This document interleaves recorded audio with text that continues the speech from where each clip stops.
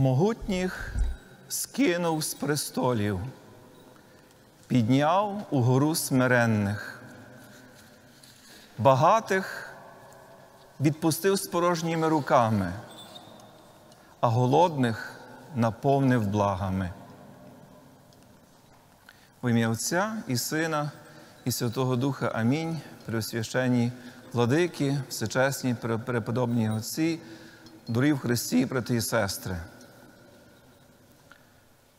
Переживаючи цей особливий день, коли ми з вами, споглядаючи розп'ятого Спасителя, склали, знявши його з гробу, з Христа до гробу, я пригадую собі, як одного разу під час цих богослужінь до церкви прийшла одна мама із своїм хлопчиком. І цей хлопчик, одною рукою тримаючи маму за руку, пальчиком показував на розп'ятого Ісуса і сказав до мами лише одне слово: Мамо, чому? Можливо, це питання дитини потрапило в саме серце пошуку людини за сенсами, за змістом,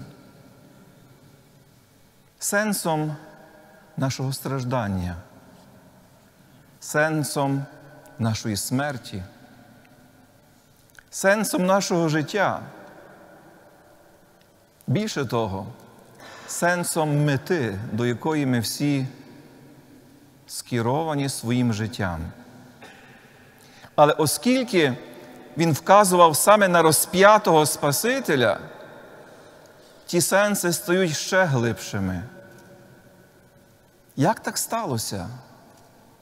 Що Син Божий, якого Отець послав у світ, як вияв найвищої своєї любові до людей, тими людьми був зневажений, опльований, розп'ятий. Я не знаю, що мама тоді відповіла своєму хлопчикові. Але, мабуть, ми сьогодні, зараз, у цю хвилину, як діти Божі, маємо унікальну можливість поставити це саме питання, чому нашій мамі, яка стоїть сьогодні під Христом разом із улюбленим учнем Христовим, тій мамі, на очах якої вбили її сина, на очах якої він помирав, мами, яка в момент свого сина, мабуть, все переоцінила і зрозуміла по-новому. Богородице, чому?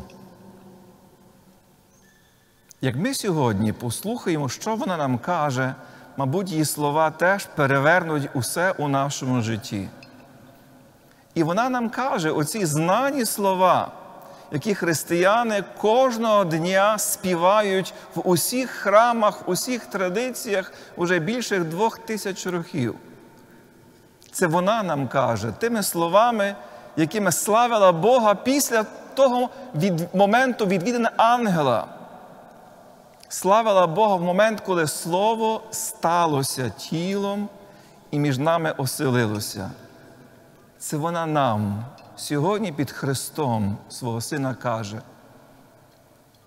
скинув могутніх з престолів, підняв угору смиренних. Цікаво, ті слова під Христом набирають цілком іншого значення.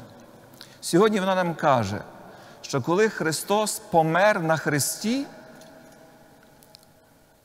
стався якийсь всесвітній переворот, коли все назавжди змінилося. Все стало інакшим, отримало інакший сенс, отримало цілком інші перспективи. Сьогодні ми бачимо Бога, який вмирає на Христі, безсмертного, який для того і став людиною, прийняв тіло з пречистої Діви Марії, щоби мати можливість зазнати смерті. Ми сьогодні бачимо того Бога, якого не може збагнути навіть людський розум, якого ми знаємо як незбагненного, неописанного. А той Бог дозволив, щоб його зловили людською рукою, наклали на нього кайдани, прибили цвяхами до Христа. Той вічний, безсмертний Бог сьогодні у людському тілі покладається до гробу. Все наче міняється. Сьогодні кров першого вбитого чоловіка Авеля, яка кричала до Бога із землі, вимагаючи відплати, міняється кров'ю Спасителя на кров, яка уділяє прощення. Сьогодні ми чуємо слова Святого Євангелія, яке каже, кров Ісуса Христа очищає нас від усякого гріха. Але сьогодні ми чули, мабуть, одну фразу, яка ну, нікого не могла залишити байдужою. Ісус розп'ятий на Христі кличе, Боже мій, Боже мій, чого ти мене покинув? Тими словами псалма, мабуть, Христос ставить перед усіма нами ну, якесь страшне запитання. Як Бог кличе сам до себе про те, що Він сам себе покинув? Який сенс тої фрази? Святий Августин нам пояснює, що Божественний син, син Небесного Отця, захотів увібрати в себе усі страждання, усе почуття самотності і відкиненості цілого людства, яке само себе позбавило Божої присутності, відкинувши Бога із свого життя. Син Божий стає голосом кожної самотньої покинутої людини, яка кричить про спасіння до свого Творця. Христос, наче на Христі, озвучує крик цілого людства за Богом. Він, Син Божий, стає начебто по стороні тих, хто є відкинутий засуджений, для кого не було шансу на порятунок і на спасіння. І саме в момент смерті Ісуса Христа все віднаходить надію. Той, хто був засуджений, відкинутий, є спасенний. Той, хто був далеко від Бога, стає до Бога так близько. Той, кого засудили як грішника, сьогодні, будучи розп'ятим по правиці, від Христа чує сьогодні будеш зі мною в раю. Сьогодні кожен, кого очікує смерть, отримує надію на Воскресіння і життя. Сьогодні в розп'ятому і померлому Спасителеві ми віднаходимо сенс наших страждань. Бо Його стражданнями ми зцілені, каже нам сьогодні пророк Ісая. Його хрест стає для кожного з нас ключем, який відкриває нам небеса.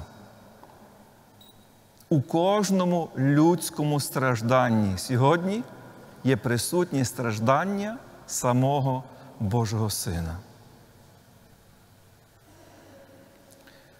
Ми святкуємо, переживаємо, входимо в це таїнство розп'яття і смерті, і погребення Христа дуже особливий момент нашого народу.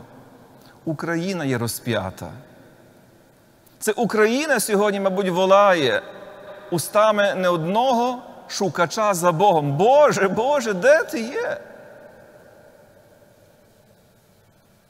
Під щоденними обстрілами, в тому царстві смерті, яке сіє на нашій землі російський вбивця, ми кличемо, Боже, чому ти мене покинув? І сьогодні ми отримуємо відповідь на сенс нашої бурні. Бо сьогодні ми бачимо, що саме розп'ятий перемагає. В Бозі загиблий воскресає. Сьогодні принижений отримує прославу, а зранений отримує славу у Царстві Божому. Тому з одного боку ми сьогодні дивуємося тій вселенській переміні. Разом з тим Йосифом сьогодні ми от щойно співали словами цього старовинного плачу надгробного. Ті слова Йосифа з Араматеї нас по сьогодні, по сьогоднішній день вражають. Як поховаю тебе, мій Боже? Якою плащаницею тебе обгорну, якими руками торкнуся Твого нетлінного тіла? Але ми сьогодні, єднаючись, віднаходячи сенс нашого з вами терпіння, страждання, чуємо від розп'ятого і похованого Бога слово надії. Я помираю, щоб ви жили. Це саме нам кажуть сьогодні наші герої, які віддають своє життя за Україну.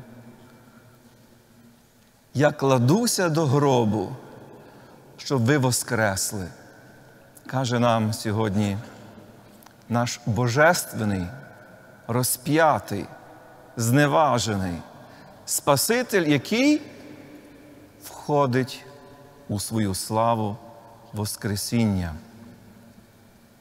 Тому сьогодні ми кажемо: славимо Тебе, наш Господи, величаємо Твої страсті, розп'яття і погребення. Покажи нам Твоє на третій день Воскресіння. Амінь. Так хочеться сказати разом до перемоги.